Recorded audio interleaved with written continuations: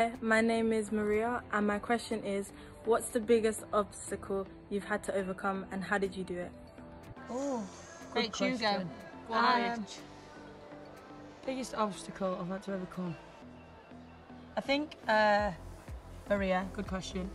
I think that I didn't get selected for the Euros in 2017, and that hit me quite hard. So, overcoming that, I just trained harder, worked harder, and did everything I could to improve.